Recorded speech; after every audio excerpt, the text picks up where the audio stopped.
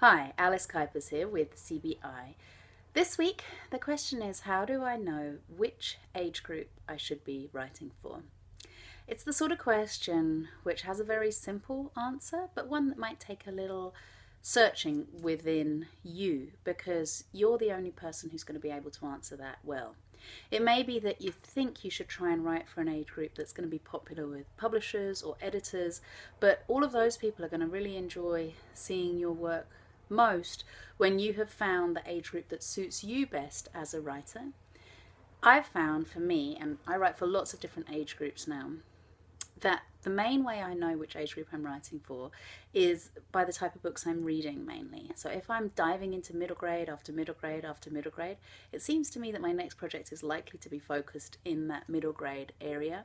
One of the big mistakes I see with lots and lots of emerging writers, especially for writers for children, is they don't read a lot of contemporary children's literature and then they find themselves overwhelmed by how are they going to start what age group are they going to write for but if you read lots of middle grade you're going to find yourself naturally inclined to think about a project in those terms.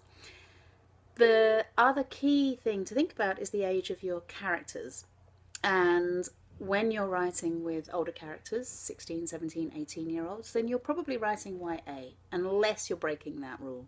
If you're writing with 13 14 maybe 12 you're probably writing middle grade it's not quite the same age. And if you see that, that's because children like to read up. They like to read about kids who are a little bit older than them.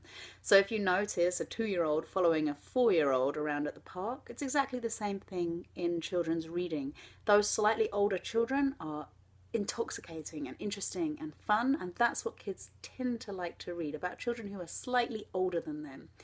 So, those are the things I think about when I'm writing. What are the age of my characters and what type of stuff am I reading at the moment? Now go out there, read lots and lots of contemporary children's literature and see where your interest lies. If you love picture books, then move away from young adult and write a picture book. See how that feels for you.